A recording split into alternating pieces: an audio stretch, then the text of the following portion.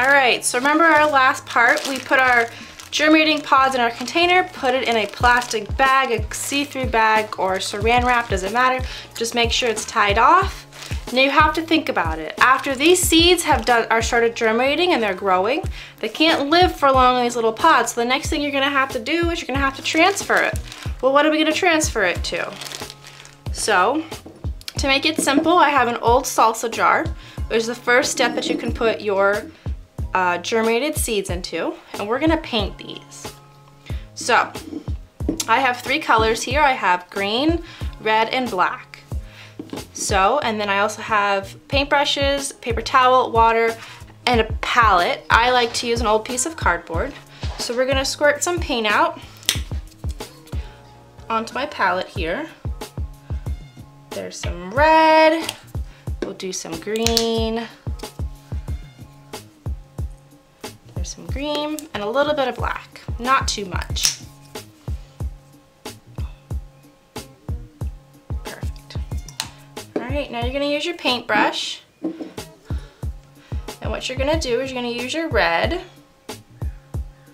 and you wanna paint about right here and you wanna leave the top of the jar for a, a different colored paint. So let's go ahead and paint this red.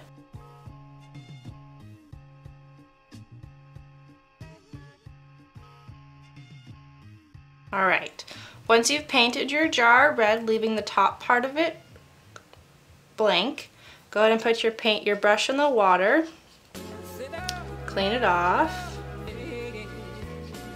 We're gonna stand my jar up. So the good thing about using stuff from home is that you don't have to buy anything. So I said, like I said before, I used a salsa jar. You could use a jelly jar or a pizza sauce jar or an old peanut butter jar Whatever you have at home that's empty, don't go emptying something just to make this.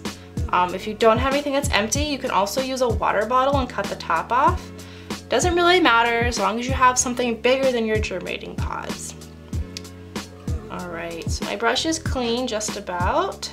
Yep, we'll leave it just like that. All right, now it's gonna pick your jar up again. We're gonna use the green. And we're gonna do the green on the top part here. So, and if you don't have paint at home, that's okay. You can always use pieces of paper and you could paint little straw, you could uh, color little strawberries on them and glue them onto the jar. It doesn't really matter. You don't even have to paint your jar like a strawberry if you haven't figured out what we're doing yet. You can do anything you want. If you want to paint it like a rainbow, paint it like a rainbow. If you want to paint it like a unicorn, you can do that too if you want to leave it blank. All right, so after you have painted the top of your jar green, you're gonna take some paint and you're gonna kind of make some leaves here like you would to mimic a strawberry. So you're just gonna kind of pull it down however you want it.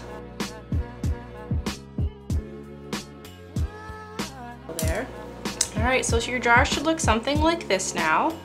So the next thing you're going to do is you're going to take your black paint, and this is the fun part. You're going to use your fingers to make the little seeds on your jar. So I'm going to use my, my pointer finger. I'm going to dip in the black just a little bit, not too much.